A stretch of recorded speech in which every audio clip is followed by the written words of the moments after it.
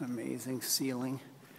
And there's St. Sebastian being shot with arrows for confessing Jesus Christ as Lord instead of Caesar.